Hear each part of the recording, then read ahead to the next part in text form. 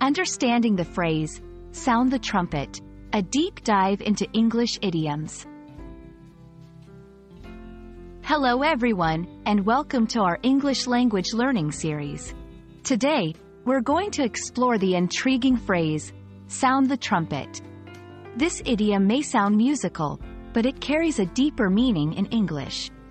Whether you're a language enthusiast or an avid learner, understanding such phrases can greatly enhance your English skills. So, let's dive in and discover what this expression truly means. In this section, we delve into the literal meaning of sound the trumpet.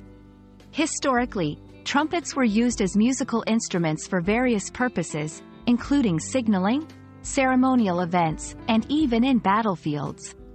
To sound the trumpet literally means to play or blow the trumpet to produce a sound. This action was often used to grab attention, announce the arrival of someone important, or signal the start of an event. Now, let's explore the figurative meaning of this phrase. In modern English, sound the trumpet is often used metaphorically. It means to make an announcement about something important or to draw attention to a particular issue, person, or event. This usage is symbolic, as it likens the act of making an announcement to the loud and clear sound of a trumpet. To understand this phrase better, let's look at some real-world examples. 1. When the company achieved its sales target, the manager sounded the trumpet by throwing a grand celebration.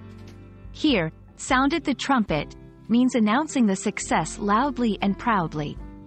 2. The environmental group sounded the trumpet about the dangers of climate change.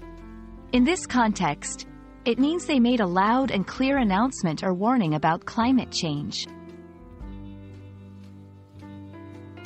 In this section, we provide some tips for using this phrase effectively. Use it when referring to making an announcement or drawing attention to something significant. It's often used in a positive context but can be adapted for warnings or alerts. Remember, it's a metaphorical expression, so it adds a dramatic or significant tone to your statement. And that's a wrap on Sound the Trumpet. We hope this video has illuminated the meaning and usage of this interesting English phrase. Remember, language is not just about words, it's about the culture and history behind them. Stay tuned for more insights into English language learning, and keep sounding your own trumpet in your language journey.